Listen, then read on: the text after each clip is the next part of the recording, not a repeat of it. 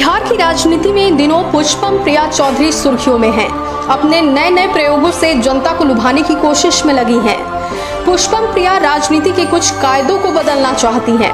वो चाहती हैं कि राजनीति धर्म और जात से ऊपर उठे और इसीलिए उन्होंने नामांकन पत्र में जाति के स्थान पर, पॉलिटिशियन और धर्म के स्थान पर बिहारी लिखा लंदन से पढ़कर लौटी पुष्पम प्रिया चौधरी का जन्म बिहार के दरभंगा में हुआ उनके पिता विनोद चौधरी बिहार के मुख्यमंत्री नीतीश कुमार के करीबी माने जाते हैं और वो जेडीयू से विधान परिषद के सदस्य भी रह चुके हैं। पुष्पम प्रिया चौधरी का दावा है कि वो बिहार की राजनीति में बड़ा बदलाव करना चाहती हैं।